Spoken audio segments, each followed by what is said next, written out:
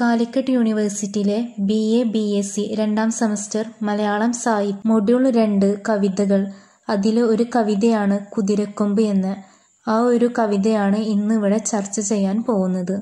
കുതിരക്കൊമ്പ് എന്ന കവിത എഴുതിയത് അയ്യപ്പ പണിക്കർ ആണ്. ആയിരത്തി തൊള്ളായിരത്തി എഴുപത്തി ആറിലാണ് കുതിരക്കൊമ്പ് എന്ന കവിത എഴുതുന്നത്.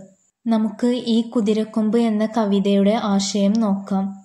ആദ്യം തന്നെ കവി പറയുന്നത് കഥ പറയാം ഒരു കഥ പറയാം ആരും പോകരുത് എന്ന് കവി കവിതയിൽ തന്നെ ആദ്യം തുടങ്ങുന്നത്.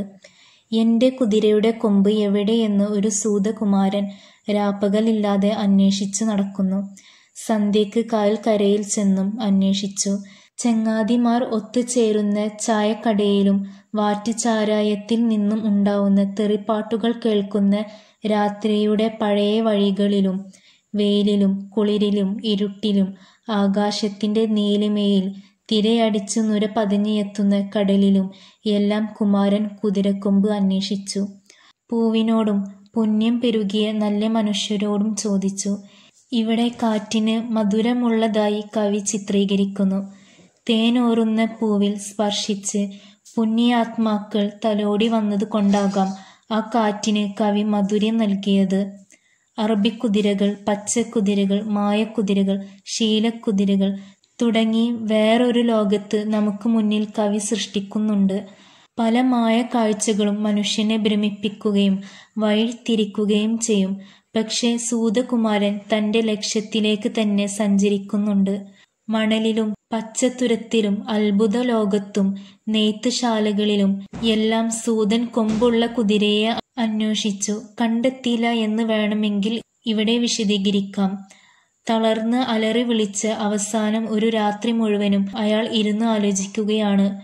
വേദപുസ്തകം കയ്യിലെടുത്ത് അതിൽ പേജ് പകുത്തെടുത്ത് ധ്യാനിച്ചു. ഇതൊരു വിശ്വാസത്തെ ഓർമ്മപ്പെടുത്തുന്നുണ്ട്.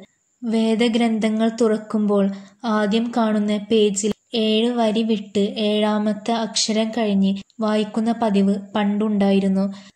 അതിലെ ആശയം പോലെയാകും അന്നത്തെ ദിവസം എന്നാണ് വിശ്വാസം. ഇനി ഒരു ഗതിയുമില്ല എന്ന് തിരിച്ചറിഞ്ഞ് സൂതകുമാരൻ വേദത്തെയും ശാസ്ത്രവുമായി ബന്ധിപ്പിച്ച് വിശകലനം ചെയ്യുകയാണ്. ആത്മീയതയും ഭൗതികതയും ഇവിടെ കൂടിച്ചേരുന്നത്.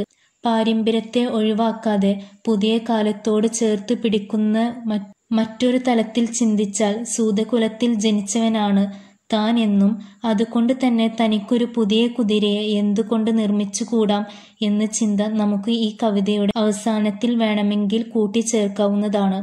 ആ ചിന്തയിൽ നിന്നാണ് ശാസ്ത്രത്തെയും പുരാണത്തെയും ഒരുമിച്ച് നിർത്തി പുതിയ കണ്ടെത്തലുകൾ എത്തുന്നത്. കൊമ്പുള്ള കുതിരകളെ മേയ്ക്കുന്നവരായി ഇനി സൂതകുമാരന്മാർ അറിയപ്പെടട്ടെ എന്ന് ചിലപ്പോൾ കവി ആഗ്രഹിക്കുന്നുണ്ടായിരിക്കാം. മറ്റുള്ളവർ ഭയത്തോടെ അത്ഭുതത്തോടെ അവരെ നോക്കിക്കാണട്ടെ എന്നും യശസ്വിയായ തന്ത്രജ്ഞനായ കർണനെയും ഇവിടെ നമുക്ക് ചേർത്ത് വായിക്കാവുന്നതേ ഉള്ളൂ. എല്ലാ കഴിവുകളും ഉണ്ടായിട്ടും ആരും പരിഗണിക്കാതെ പോയ സൂതപുത്രനായിരുന്നല്ലോ കർണൻ.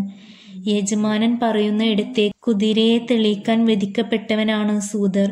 അവന്റെ ഉള്ളിൽ അടങ്ങാത്ത എതിർപ്പുകളും സങ്കടങ്ങളും എല്ലാം പ്രകടിപ്പിക്കാനുള്ള ഒരു അവസരം കണ്ടെത്താനുള്ള ഒരു ശ്രമം കുതിരക്കൊമ്പിന്റെ അന്വേഷണത്തിൽ നമുക്ക് ചേർത്ത് വായിക്കാവുന്നതാണ്. അങ്ങനെ തോറ്റുകൊടുക്കുന്നവനല്ല മനുഷ്യൻ. സൂതകുമാരൻ കുതിരത്തലവനെ വാളെടുത്തു വെട്ടി നട്ടെല്ല് പിളർന്ന് ആ നട്ടെല്ല് ആ എല്ല് കൊമ്പായി വെച്ചു. ഇത് നമ്മുടെ നേട്ടം. മറ്റെല്ലാം കൊമ്പില്ലാത്ത കുതിരകളും വണങ്ങുമല്ലോ. ഇതാണ് കഥ. കഥ കേട്ടിരുന്ന കുഷിണിക്കാരനും അവന്റെ ഭാര്യയുമാണ്. അവർ മടുപ്പോട് എണീറ്റ് പോകുന്നു ഇനി കഥ പറയേണ്ടത് കുട്ടികളോടാണല്ലോ മുട്ടുകളോടാണല്ലോ.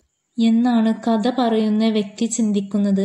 ഇവിടെ കഥ അവസാനിക്കുന്നു. ഇത്രയാണ് അയ്യപ്പ പണിക്കർ എഴുതിയ കുതിരക്കൊമ്പ് എന്ന കവിതയുടെ ആശയം. നിങ്ങൾ കവിത നന്നായി വായിച്ച് പഠിച്ചിട്ട് വേണം എക്സാം ഇരുന്ന് എഴുതാൻ എല്ലാവർക്കും മനസ്സിലായി എന്ന് വിചാരിക്കുന്നു. എന്തെങ്കിലും ഡൗട്ട് ഉണ്ടെങ്കിൽ കമന്റ് ബോക്സിൽ കമന്റ് ചെയ്യുക.